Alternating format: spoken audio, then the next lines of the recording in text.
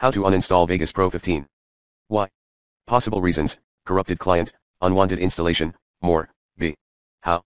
Solution number 1, perform the uninstallation process manually. Step 1, gain admin access.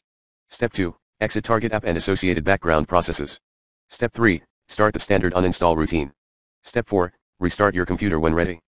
Step 5, clear related projects, like Music Maker, or software remains. Follow me, exactly. See solution number 2, try the recommended uninstall tool pro in the description area, if this removal guide fails to work. Tip, please PM me if you need further assistance.